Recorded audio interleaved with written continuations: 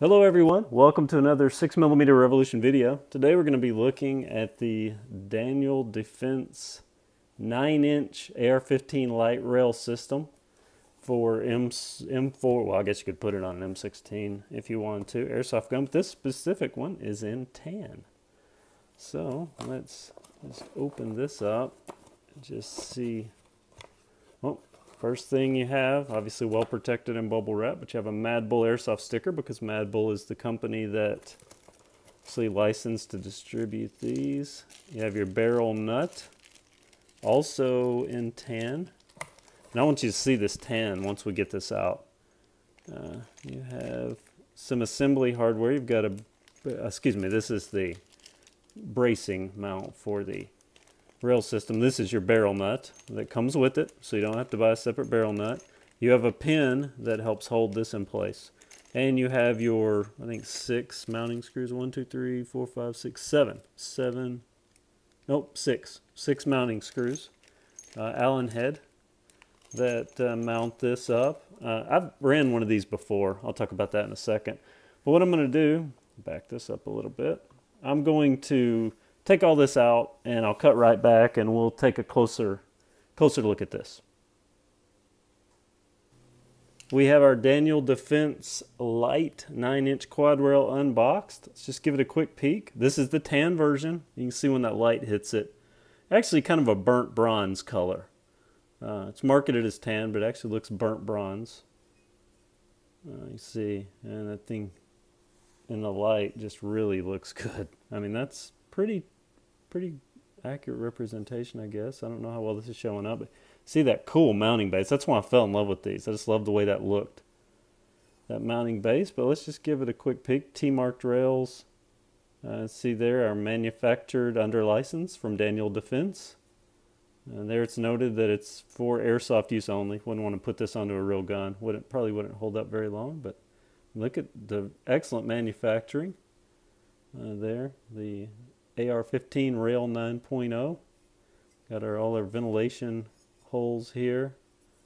Ventilation for what would be the gas tube in the real gun. Uh, but uh, this thing goes on. You have uh, some parts here. You have the base plate that actually mounts it onto the gun. You have a barrel nut, works in conjunction with this base plate. Some screws that screw the base plate to the actual free float. This little pin uh, acts as a guide up in your, kind of behind your hop up bucking and keeps this straight where it doesn't start tilting with pressure. But let me just, I have a, uh, I have a combat machine here. It's partially assembled. Converting this thing over to a one-piece outer barrel. Uh, but I just want to show what you do. Let's see if I can get all this in frame.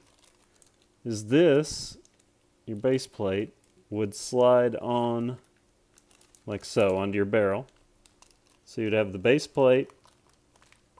Well, this is showing up here.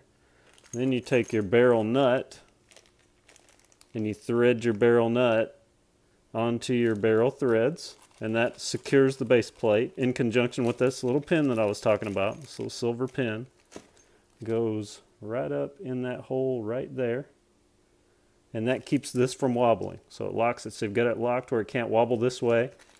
And then you've got the barrel nut. All this comes with the rail. And that holds your barrel in place, but it also holds this in place. And then from this, take your rail system. It's on your base. You slide it up in there so it would mount in there like so. And you take your screws, got some Allen head screws, and you screw those on. So then you have installed on your gun, the rail system like so. Let me actually move this back a little bit. I think we can. wanted to show you how far this actually comes. So you see, you still can see your M4 barrel profile, but it actually comes right up to the gas block. So your gas block's just gonna right up to that gas block. So you won't see the gas block notches or anything like that in your barrel get this out of the way. Okay, but that's just a quick little video to cover this Daniel Defense quad rail. Look at that thing. That is beautiful rail system. Very, very well made. Yeah, but just want to do a quick video, cover that, let you guys see it, and make your own decisions this is the right rail system for you. Maybe this video will help you out. Thanks for watching. Everyone have a great day.